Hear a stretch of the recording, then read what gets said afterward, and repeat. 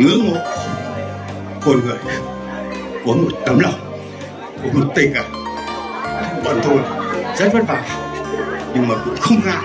Nhưng mà đúng là có thể nào nhờ ơn trên. Đấy là tùy duyên mà để cho tôi tôi đạt được gặp cô và gặp mọi người đây tôi xúc động lắm. Trước mắt là xin chân thành cảm ơn đại diện cho mọi người, nhân dân Việt Nam, nhất là những lao động khổ cực như chúng tôi. Xin cảm ơn anh rất nhiều.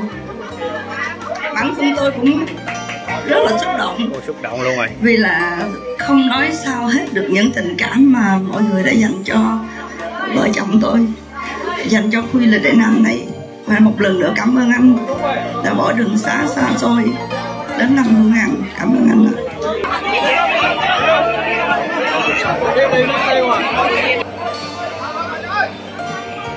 sự là tôi không bao giờ ân hận những gì tôi đã làm. Và tôi sẽ tiếp tục làm. Bởi vì tôi cũng chỉ có một lần sống. Sống như thế nào để rồi khi tôi mới lìa bỏ cuộc đời này tôi không bao giờ ân hận. Đó là khí chất của một người dám sống dám nói dám làm. Đúng không quý vị? Chị đeo cái viên này là 45 carat nè. Ha. nhưng mà người ta nói là chị là đeo cái đĩa kia không? Chị mới mua cục đá 65 carat này 65 carat và tôi với anh Dường Quỳnh Huy Dũng cũng đã rất là đồng ý. Là tôi sẽ mở lại cái quỹ mổ tim hàng mẫu. Cũng như giấc mơ của cô Hằng đã tìm ra thằng Hoài Linh. Mười mấy tỷ hỡi ơi thế thái nhân tình. Thì sao đôi nhân tố một mình ta à, thật là nhiều sức khỏe và lúc nào cũng Không. năng lượng. Sức là khỏe là sẽ có không được. Cứ khi mình ngồi dậy quý vị biết ông ma thì nhiều lắm thậm chí là họ không có ngại mình đâu. Xong rồi cái tôi lại nghe tiếng một kia một, một tiếng nữa là dở chiếu lên. Thì quý vị có biết không tôi vừa dở chiếu lên thì một con rắn nằm dưới chiếu á nó quay quay như vậy nè quý vị. Tôi hồn vía thất lạc. Xong tôi đứng lên tôi dở thêm một cái nữa thì một con ở trên một con ở dưới. Dưới cái chiếu tôi hai con rắn.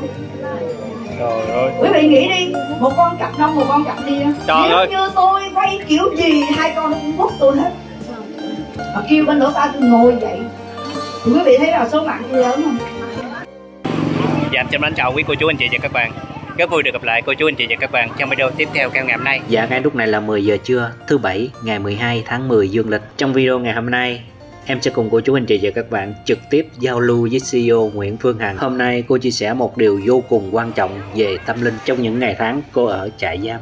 Càng đặc biệt hơn khi bà chùm trang sức trực tiếp đến gặp cô Nguyễn Phương Hằng nói ra nhiều bí mật. Điều mà bà con mình tâm đắc nhất chính là cô và chú Huỳnh Huy Dũng sẽ mở lại quỹ mẫu tim hàng hữu. Cuối cùng là màn giao lưu đầy cảm xúc với fan chính nghĩa hàng triệu trái tim yêu thương cô Nguyễn Phương Hằng. Họ đã khóc, dám chia sẻ lên cảm nhận của mình, đặc biệt nói lên việc làm từ thiện của những nghệ sĩ. Sự việc như thế nào, tình tiết ra sao? Em xin mời quý cô chú anh chị và các bạn cùng xem hết video nhé dạ cô chú thấy video của em thật sự ý nghĩa, hữu ích. Cô chú anh chị và các bạn xem nhớ để lại cho em xin một like, một đăng ký kênh để em có thêm động lực ra nhiều video hay và hấp dẫn hơn. dạ cảm ơn chị. Phải nói là quý vị thấy không rất là, cảm động. Đường xa xôi mà mọi người đã không có ờ, nghĩ là xa xôi để đến Đại Nam thăm Phương Hằng và thăm Phương Đại Nam. Rất là cảm ơn ạ. Xin mời anh phát biểu xin uh, kính chào toàn thể mọi người.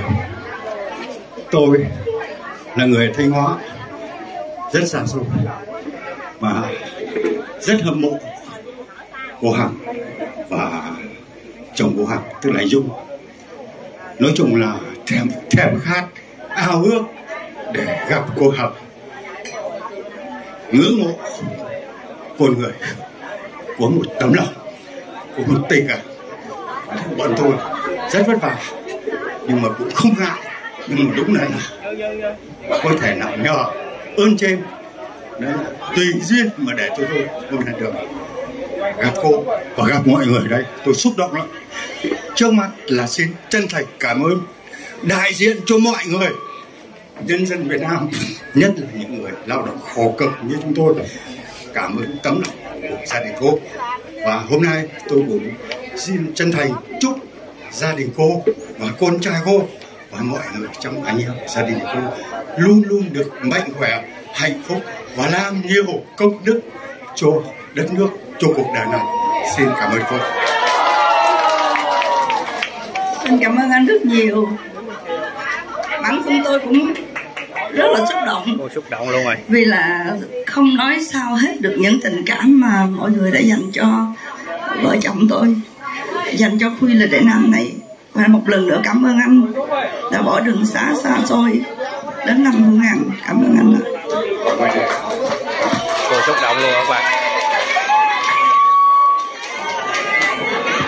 Quý vị thấy rằng là sau tất cả sau tất cả những gì mà đau khổ nhất thì tôi nhận lại được sự đền bù của quý vị đã thương mến tôi, thương mến Nguyễn Phương Hằng tôi, cũng như thương Khuy lịch Đại Nam. Thương tất cả những gì mà chúng tôi đã làm, hết lòng vì dân. Cho nên là tôi, thật sự là tôi không bao giờ ân hận những gì tôi đã làm. Và tôi sẽ tiếp tục làm. Bởi vì tôi cũng chỉ có một lần sống. Sống như thế nào để rồi khi tôi phải lìa bỏ cuộc đời này tôi không bao giờ ân hận đó là khí chất của một người dám sống dám nói dám làm. Đúng không quý vị?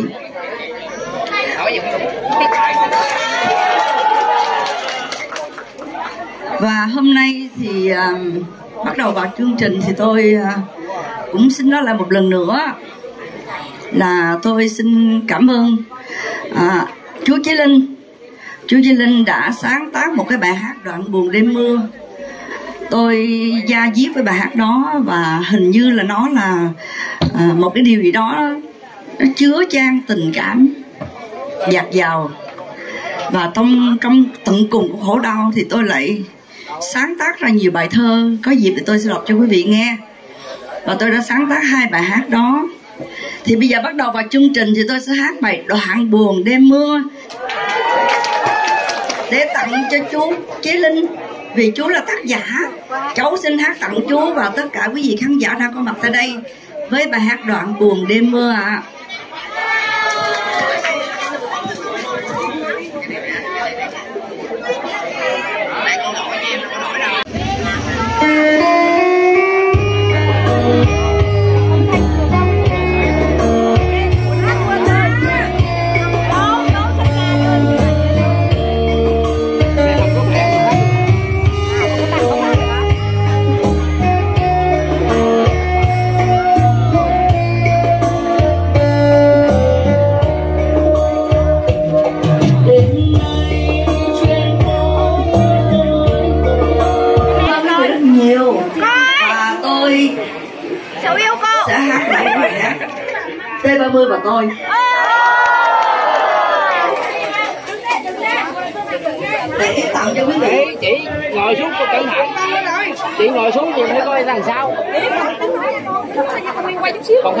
Lên đi chứ ngồi.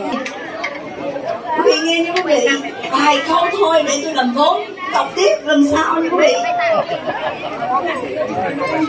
Ôi thật là cảm động. Đừng có cho sao vô nữa trời ơi. Không phải là tiền đổ chị đổ chị rất là nhiều cảm ơn hạnh nói là em có đẹp như hoa hồng nè quý vị? Em có xứng đáng nghe được ơn hoa hồng không quý vị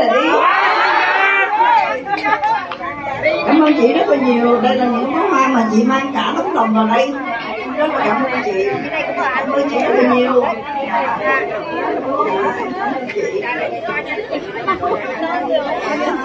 Đổ chừng quá để tôi đọc cho quý vị nghe mấy câu thơ thôi, rồi lần sau lần sau tôi sẽ đọc nữa vì đã tới 48 câu thơ hỡi ơi, thế thái nhân tình. Sao bao giông tố một mình ta mang đời ta nhiều nỗi đa đoan.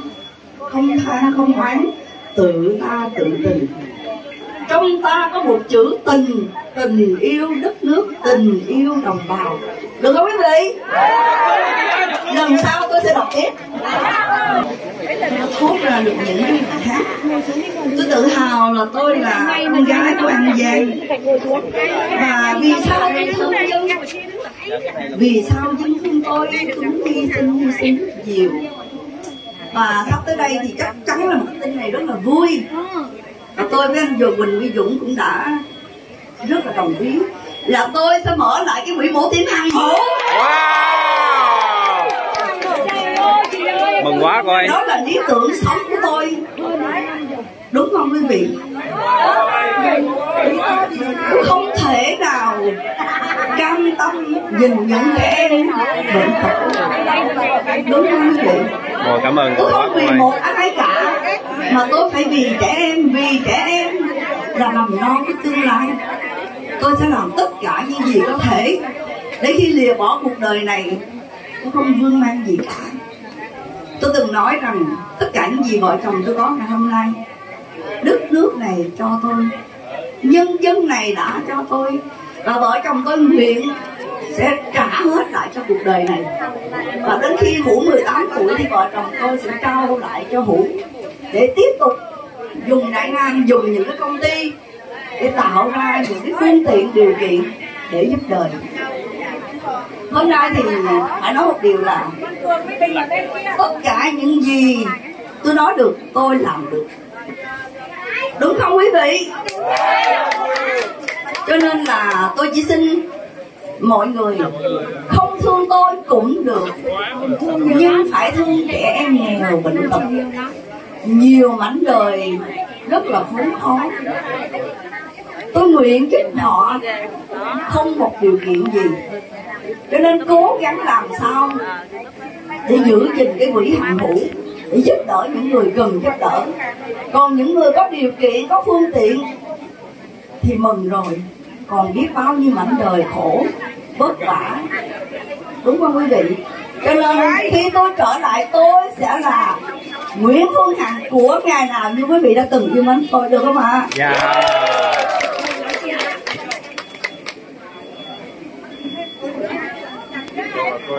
À, à có cô nghe nào hả? Cô nghe nào mà à, ok mời em, mời em.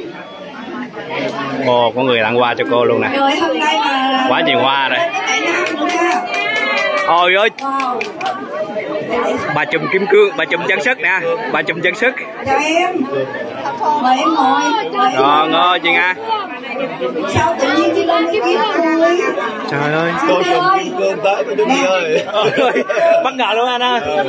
Bất ngờ luôn á. Em như thế nào mà em làm nghề đúng không?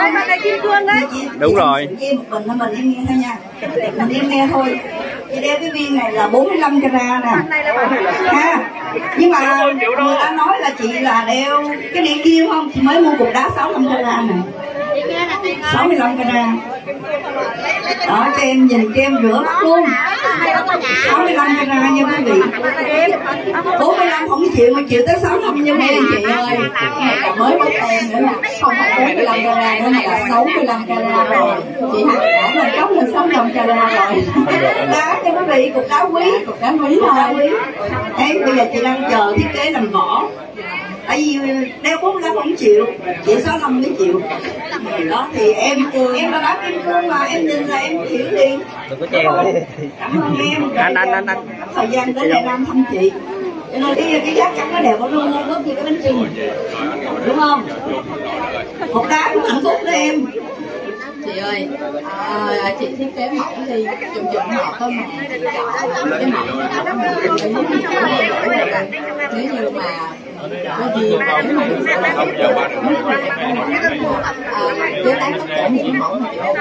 hôm qua chị có tàu lao với mọi người đó là tức cười lắm à, họ gửi uh, mail gửi vô hãng kim cương lớn không mà hỏi trả lời người ta thông tin được chi rồi như vậy quyền của ta nhưng mà những người đó là thông tin người ta nói người thật sự là là rất là nông nổi dùng cái từ là nông nổi đã thể đi hỏi người ta những cái điều mà giờ đi vô để quay rồi để phát triển buôn bán để các người sao có một số người nha chứ không nói là qua đủ lắm nha gửi email hỏi em yêu ta xác định. Em em cho ý kiến như sau khi nào? Em thấy sao khi nào? Nói em đối với một người. Hiểu biết như em thì em trả lời sao mà họ truy cùng đuổi tận cho đến vậy? Không cam tâm đúng không dạ không có vô được chú ơi. Em mới là một duyên thôi không biết tại sao á mà dẫn dắt nó.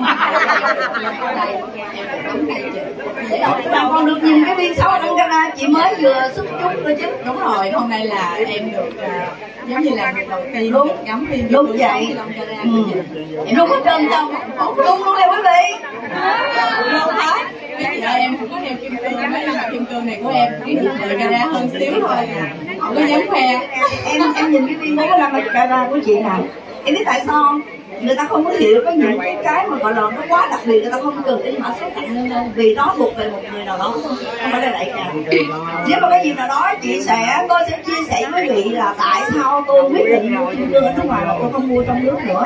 Vì là cái độ chơi của tôi là thứ hai, thứ nhất thứ hai nữa là tôi nó từng đi lừa họ lấy mã số cạnh này họ in vào một cái tờ giấy mã số cạnh khác. Dạ không có vô và khi mà chị vô tình đi ở dạ ngoài chị mua cái vỏ. cô chú không xong rồi chị mang cái viên kim cương nó đi qua gắn cái cái vỏ khác.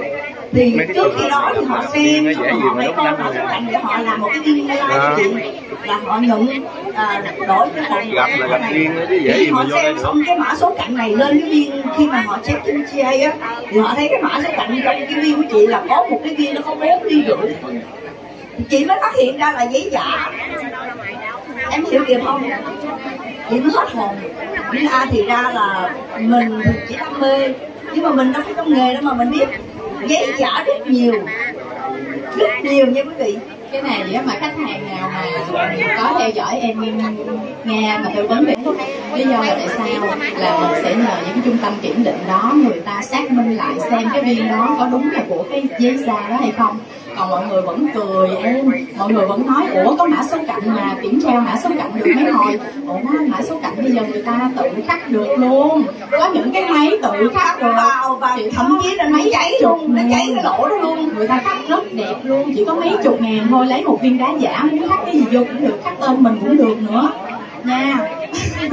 Đó là lý do tại sao tôi không mua ở Việt Nam nữa tôi không dám nói nhiều nhưng mà tôi đã từng bị như vậy và khi chị phát hiện ra chị tá hỏa là bởi vì chị quá đặt niềm tin. Và khi phụ nữ mà đã đam mê hột xoàn rồi là bao nhiêu cũng mua mua không tiếp không bao giờ suy nghĩ vì nghĩ nó là cũng là một cái tài sản cũng là một đồ trang sức. Nhưng khi phát hiện ra là cái viên kim cương đó được được sử dụng bởi một cái mã số giả một cái mã số thật của một viên bốn ly rưỡi mà cắm vào cái ly viên đó là cái mười mấy ly bán cái giá rất là cao Tới khi mà chị phát hiện ra thì cái người bán cho chị á, tivi mà chút không có tivi năn cô nỉ hết chị hết lời và mua hồi lúc đó nghe được bởi vì nghĩ rằng Là là làm sao cho có chị chỉ đam mê thôi và chứ không có nghĩ rằng chị ra tới tầm quốc tế. Và khi chị ra tới quốc tế rồi chị mới phát hiện ra là thì ra là rau ăn này cắm trong ngoài kia để bán và bán giá dưới giá thật. Ví dụ cái viên đó là một trăm tỷ hay là 10 tỷ bán bảy tám tỷ nó phá giá thị trường luôn. Nhưng mà vật chất cái thực chất cái viên đó không có đáng cái giá tới đó. Cho nên họ bán bằng cái giá. cái viên đó như cái giấy thì giá trên cao cái viên đó thì nằm ở dưới đó là lý do tôi quyết định tôi ra nước ngoài tôi chơi. Em nghĩ sao về à, câu chuyện mà chị nói như khi ra thì rất là đụng chạm nhưng mà rất là sự thật. Em thì em suy nghĩ như thế này á tại vì lên tới cái đầu của chị hằng rồi đó là thực sự những cái nhà cung cấp kim cương trong nước á, không có được những cái viên mà quá to lắm như mong muốn của chị thì chị phải vươn tầm thế giới là đúng rồi. Thực ra thì mới đầu thì chị cũng không nghĩ là vươn tầm thế giới đâu mà chị bị lừa của một phát đó rồi chị đưa luôn. Chị là một Nghe không rõ cô chú chị? cả những cái hiệu lớn ở đây thì chị không không đưa vào bởi vì là chị không phải là người uh, hiểu biết về nhiều. Đôi khi mình chỉ mua rồi mình cầm cái giấy thôi mình cầm cái giấy thôi nhưng mà mình đâu biết cái giấy đó với cái cương đó là hồn với xác lìa nhau khi ra tới nước ngoài rồi mình mới hiểu là ha đây là một viên kim cương này cái giấy này là một viên kim cương khác. Đó, đó là lý do mà chị luôn ra nước ngoài và cũng quý vị làm đam mê với tôi hơn hai mươi năm rồi. Chị chơi từ hột é tới hột nụ như quý vị. Đừng ghét tivi quá nha. Nhìn cái bộ sưu tập kim cương của chị hằng á từ những cái viên ờ, kim cương mà chị nói với tất cả quý vị ở đây nếu trong cuộc đời có biến cố tôi sẽ là người tự nguyện giao hết tài sản của đất nước để cứu dân. Quá hay ơi đó là lời thề. Nếu có hồn thiêu sông núi thì minh chứng cho lời thề của tôi. Vì sao? Vì tôi mang ơn nhân dân mang ơn đất nước này đã cho tôi quá nhiều. Cho nên tôi không có điều gì để tiếc với quý vị hết. Và tôi nguyện một lòng sống vì dân đặc biệt là trẻ nghèo dân nghèo. Đối với tôi rất là quan trọng cho nên là không ủng hộ tôi thì đừng đánh phá tôi. Đừng làm tổn thương tôi nữa. Đừng sát thương tôi nữa. Bởi vì sao? Vì tôi chỉ có một lần sống và một lần cống hiến. Cho nên những người yêu mến tôi sẽ không bao giờ sụp đổ và thất vọng về tôi. Vì tôi nguyện tôi có một cái đại nguyện mà sẵn đây tôi chia sẻ với quý vị luôn. Tôi đại nguyện sống theo hạnh bồ tát. Và từ khi cái đại nguyện đó nó không biết là tôi có đủ sức để gắn hay không nhưng mà từ khi tôi đại nguyện đó thì hình như là dông tố đổi lên đời tôi rất nhiều. Có khi là một sự thử thách có khi là một sự thách. Có khi là một sự gọi là xem tôi có chịu đựng được hay không. Tôi đã chịu và đựng khá nhiều sau cái đại nguyện đó.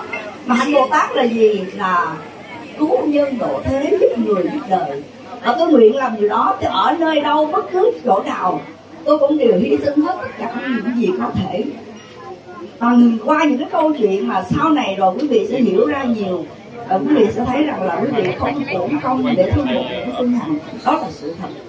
Và hôm nay chị cảm ơn em đã lặn lội đường xá xa xôi đến tận đại nam. Để mà ngồi đây với chị để mà em thấy rằng là chị ở ngoài rất là đơn giản rất là nếu mà không nói là hơi thỉnh đúng không? ngày tối hôm qua đó chị cũng mặc bộ đồ chị cũng lái xe chị cũng tào lao trên xe đó. Cũng rất là, là, là, là hí hận vui vẻ. Không? Rồi khi mà cần thiết thì cũng rất là cần thiết là rất là nghiêm túc. Đó. thì trong chị nó có nhiều cảm xúc lắm thì sẵn đây cũng cảm ơn quý vị. Nếu mà quý vị nào có yêu mến kim cương thì à, ủng hộ cho bạn này. Quý vị. Yêu thì có yêu chứ không yêu mua. Chứ yêu là dữ lắm yêu là không yêu. Yêu thì ai cũng yêu rồi. Em rất là quý mến chị tại vì không phải là em ủng hộ chị giàu chị quá giàu như thế mà tại vì giống như em là tới cái tuổi này rồi thì em cũng gặp gỡ rất là nhiều em bao nhiêu tuổi? Em bốn mươi mấy tuổi rồi. ôi ở đây năm mươi mấy tuổi mới đi shopping. Không ý là em nói là em cũng gặp gỡ nhiều người á. Nhưng mà gặp gỡ được một người á mà à, nói chuyện mà gần gũi và yêu mến và có cái tấm lòng mà à, thiện lành á yêu thương những cái người mà có hoàn cảnh khó khăn nó giống như chị á. Không không không có nhiều đâu thực sự cho nên là em thấy con đang làm nhiệm vụ là quý là cái tính cách của chị và cái con người của chị. Còn kim cương thì chị em mình có chung một niềm đam mê kim cương. Hôm nay là em à, được lên đây ngồi cùng với chị được nắm tay chị. À, là đủ rồi đối với em là rất là hạnh phúc rồi. Tại vì em không nghĩ mọi chuyện nó quá nhanh như vậy. Từ hôm mà em vô tình là em kể về câu chuyện à, kim cương của chị á thì cũng không ai mách bảo em. Tại vì mỗi ngày em vẫn thường livestream để nói chuyện với khách. Thì vô tình là hôm bữa là có một khách hàng hỏi cái em mới ngồi em kể những chuyện em biết về viên kim cương của chị cái không nghe không ngờ là mọi người lại lưu lại cái video clip đó và lại à, đăng lên rất nhiều thì vô tình em nổi tiếng đúng không? Không thực sự là chắc là em với chị hai chị em mình cũng không bây giờ em với em là người nổi tiếng nè gặp một người tai tiếng nè. Nổi tiếng tai tiếng là giống như chữ tiếng rồi đó. Đúng không quý vị? Chị hằng là người rất là nổi tiếng. À, em nghe. vô tình Cô Hằng nói chuyện hay á. để à, em có cơ hội là Thấy cô nói này hay á. đầu tiên video call với chị trước là em được gặp chị. Và sau lúc đó là cũng có những cái uh, uh, không biết nữa trong lòng em cũng mong muốn em cũng mong muốn được gặp chị ở bên ngoài. Thì đến ngày hôm nay là em đã được gặp chị Hằng ở nhà ơi. Và tất cả các chị em mình ở đây em cũng nghĩ là do là mọi người rất là yêu mến chị Hằng cho nên là mọi người mới lặn lội đường sát xa xôi đến hôm nay. Uh, à, em nghĩ là chắc mọi người cũng có cảm giác giống như em hồi nãy mà đi vô đây mà hồi hộp. Và đó là lần đầu tiên trong cuộc đời đi đu idol. Mà đây là idol của nghe Và rất là hồi hộp luôn.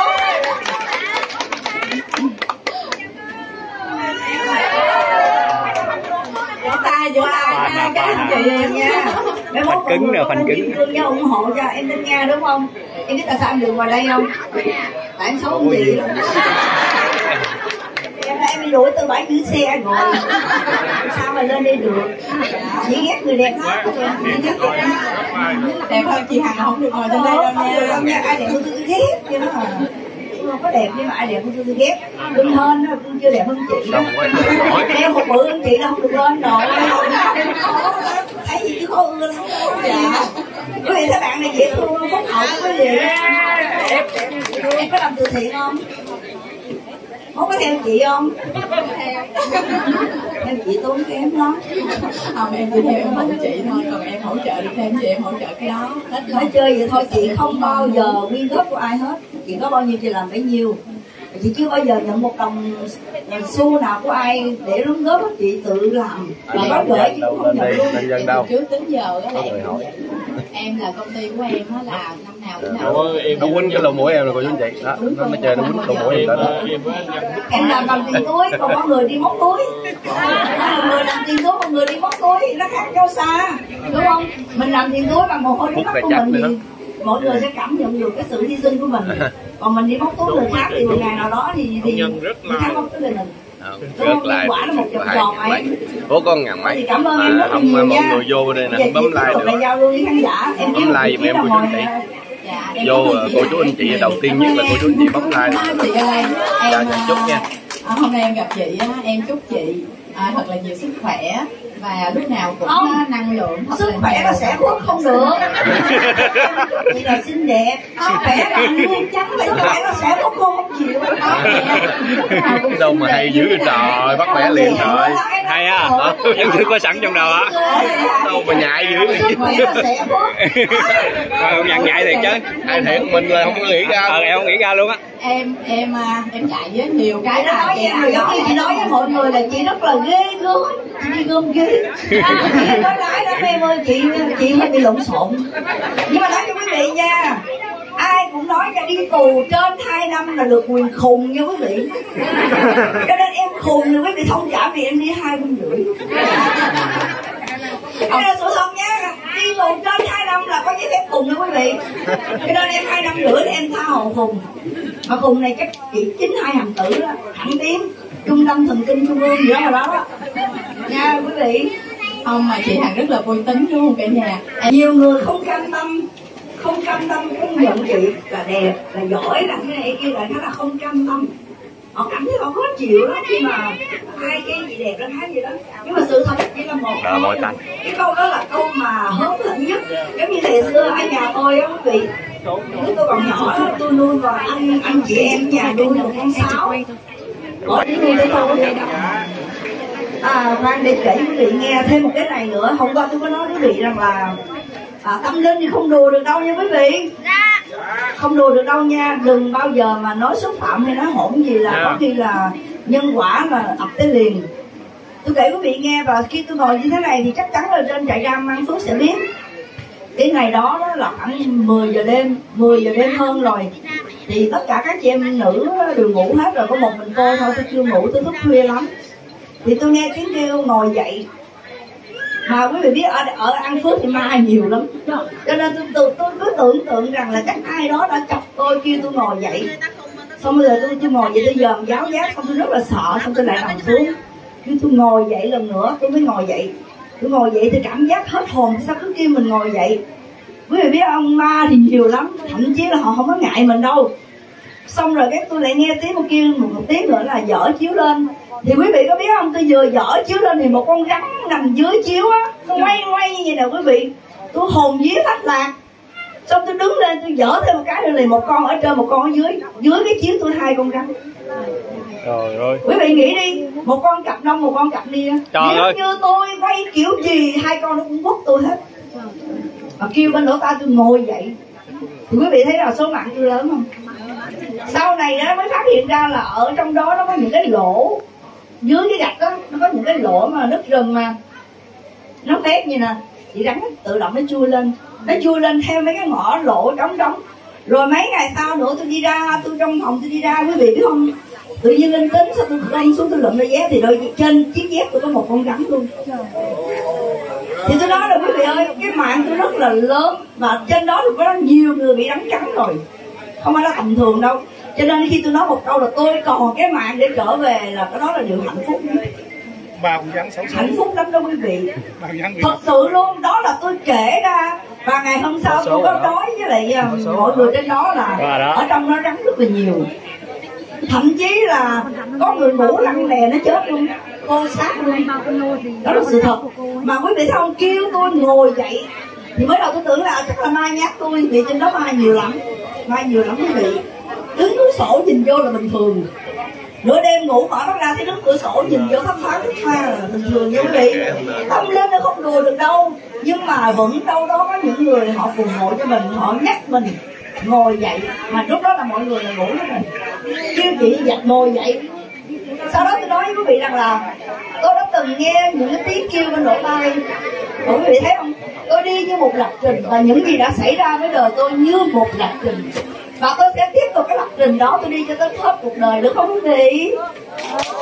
Ok luôn, yêu chàng bất chấp luôn. Về khi tôi về tới đại nam này tôi lại nằm mơ thấy kêu một giấc mơ tiếp tục. Em gắn biết cho nha tôi phải tiếp tục hành trình của đời tôi. Con hãy làm những gì mà lý tưởng của con. Đừng vì người khác mà mình bỏ cuộc. Thế là tôi phải là tiếp tục. Tôi nói với anh dũng rằng anh hãy giúp em mở lại cái quỹ mổ tim quý vị thấy không? Tôi thật sự là sức người đâu phải sức châu bò đâu, đúng không quý vị?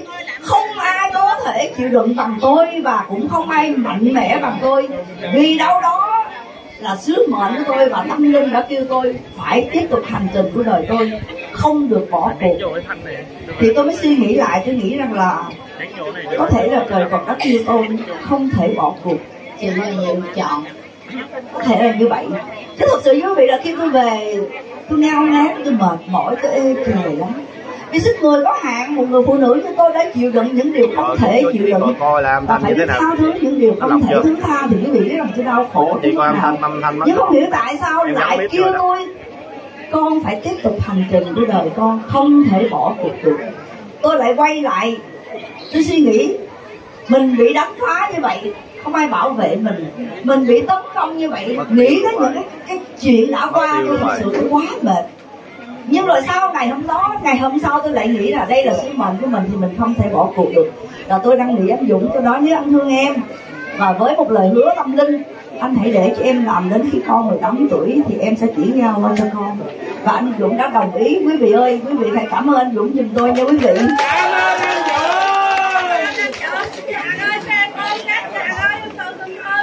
không được ôm nó mốt ôm nó mốt không được không được không được thôi khoan từ từ từ từ cho em chút chút vô đây chị. Ngồi ghế đi từ từ từ từ cho em nó mốt em lại. Cảm ơn em nha bây giờ em có nói gì với khán giả nữa không? Thì chị sẽ tiếp tục giao lưu với khán giả Thôi, hôm nay á, em được gặp các anh chị á, cho em gửi lời chào tới các anh chị nha. Dạ, em cảm ơn chị Hà đã dành cho em trong buổi sáng hôm nay. Mai mốt chị xuống mua nhớ giảm ba mươi trăm nha. Chị ơi cần xuống thôi chị sao tự nhiên nay đi lên thì chị đã không muốn khoe gì sáu năm cả rồi tự nhiên đâu em xuất hiện là mấy chị bắt khoe vậy. Bốn ra một triệu sáu năm mấy triệu nè. Có người thôi thúc em phải đi lên. Đó. Đó là chị Không nè à, nói cái duyên 45 á là dữ rồi phải không bữa nay cô có thêm 65 nữa đó. Được nha. Chị cho em chụp có một ngày nào chị chân thân xuống em nha. Dạ. Đó chị nhớ không? Trời, nhớ nha. Cho em số điện thoại của chị nữa để em hay em tâm sự. Nhất là tự nhiên tôi mềm xuống tôi không còn gì để nói đâu có bị lạ vậy đó. Bây giờ ra ráng hy vọng cố gắng đẻ thêm đứa nữa có sức không nè. Rồi em mà có bầu hay ăn mừng lớn luôn nha quý vị. Em mở cửa miệng trời lớn trời lớn thôi đúng rồi còn một quỳnh hằng hy nữa tôi còn nợ anh dũng một quỳnh hằng hy nữa. Mà tôi không đẻ Thôi tôi ra nó đẻ chết. Bữa nay có em ở đây có mấy cô chú anh chị ở đây á thì à, à, em ủng hộ chị. Chị muốn làm gì cũng được hết trơn á thêm một em bé nữa cũng được. Em muốn lên kế hoạch gì em cũng sẽ luôn luôn ủng hộ chị. À, chúc chị may mắn cho cả nhà yêu. Cảm ơn em rất là nhiều. Hôm nay nói một sự tình cờ mà rất là vui nhất định chị sẽ xuống thăm em.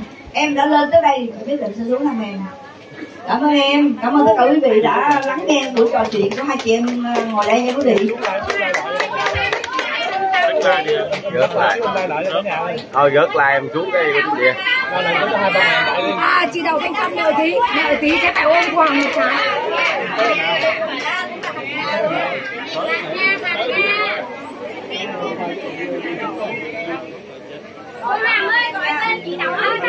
từ từ nha quý vị tôi còn giao lưu. Bây giờ cho tôi hát một bài nữa đi để cho nó ổn ổn xíu nha quý vị đây là bà chùm trang sức đây. Hôm nay đã may mắn đến đây gặp con hàng mình cũng gặp được bà chùm luôn. Cảm ơn một đoạn cho không quý vị.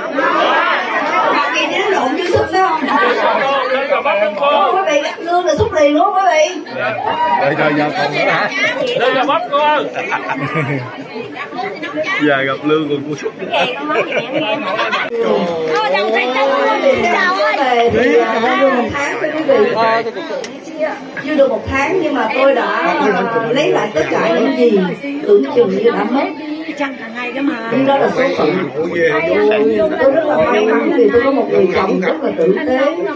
Âm thầm là để làm hết những gì có thể Yêu bằng chân luôn Văn ruột Và tôi có chia sẻ với quý vị rằng là khi mà tôi đi xa nhà hơn hai năm rưỡi thì quý vị với anh Dũng duy trì tất cả ờ, tất cả những người giúp việc vẫn mỗi ngày dọn dẹp và lau chùi từng giỏ sách cho tôi xe những là nói chung là anh Dũng đã làm tất cả những gì nhưng chưa từng có một cuộc thi nào cả.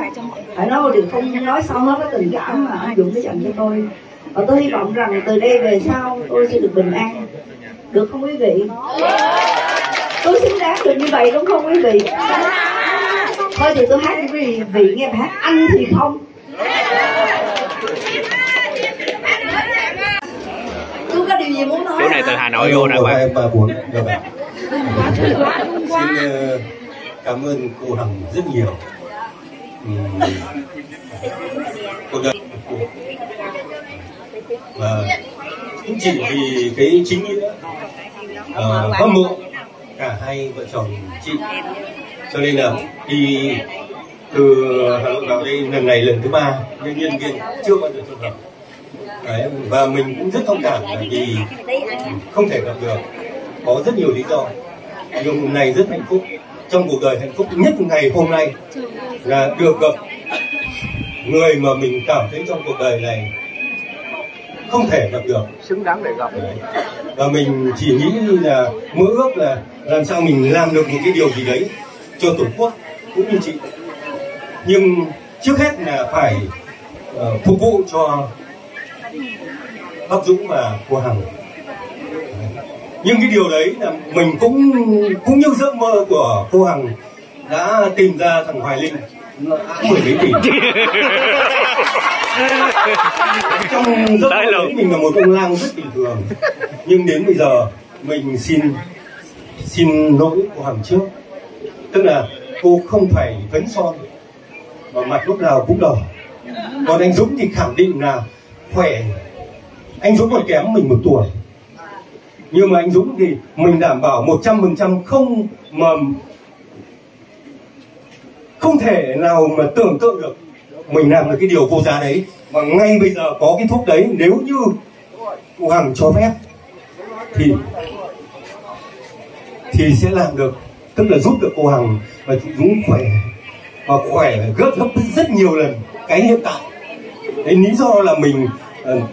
mình là một cái fan hâm mộ và ông trời đã cho mình cái điều đấy. Và mình rất cảm ơn là hôm nay cô Hằng đã cho phép được lên đây ngồi và nói với cô Hằng cái điều tâm huyết thật sự. Và mình cũng khẳng định với cô Hằng rằng cuộc đời này chỉ có cấp trên về tâm linh mới giao cho mình mà mình mới làm được. Còn mình đi học rất nhiều thầy học ừ, tất cả ở Việt Nam là có những người thầy nào giỏi nhất mình đều đến. Nhưng cuối cùng là cũng không nhưng cũng không không thành công. Nó chỉ nằm ở một cái góc độ rất bình thường và tầm thường. Nhưng đến bây giờ thì mình thấy mình xin lỗi cô hàng trước và xin lỗi đây tất cả các quý vị đây trước. Mình là một nhà dám nói là vô địch thế giới về sức khỏe. Nhưng mà hồi nãy giờ anh nói rằng là anh cũng đã trải qua rất nhiều điều giống tôi đúng không? Nhưng chắc chắn là anh không có đi tù giống tôi được. có có đi tù giống tôi. Sẽ chung một con tập thể với quý khách từng tại đây ha sau đó là cô hằng sẽ di chuyển qua sân khấu của biển đài nam. Quý vị mình có thể là nghỉ ngơi xíu ăn trưa xíu cho cô hằng nghỉ xíu rồi mình sẽ gặp nhau tại biển đài nam nha mọi người.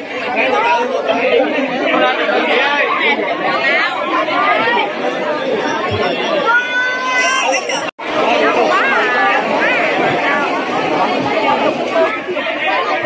bây giờ cô học đi ra biển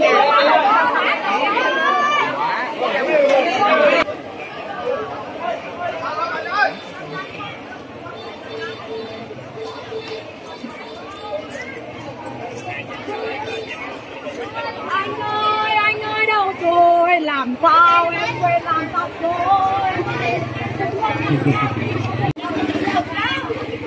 đã đến giờ nghỉ trưa thì cô Hằng di chuyển à, vào khu vực à, biển nhân tạo.